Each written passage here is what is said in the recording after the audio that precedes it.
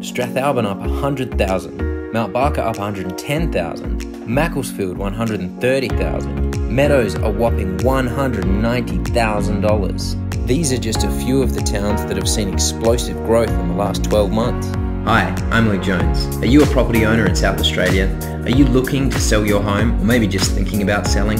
Or do I have news for you? Over the last 12 months, we've seen record prices all over South Australia, with some suburbs going up nearly $200,000 on the median price. If you're thinking about selling, now is the time to take action. Broadland Estates will take care of everything, from the marketing to the negotiation to the contract signing. We'll look after you and make sure you get the best result when selling your home. So what are you waiting for? Now is the best time to sell your home. Don't miss out on this amazing opportunity to cash in on these high prices. Call me today and I'll show you exactly how to make the most of this bull market.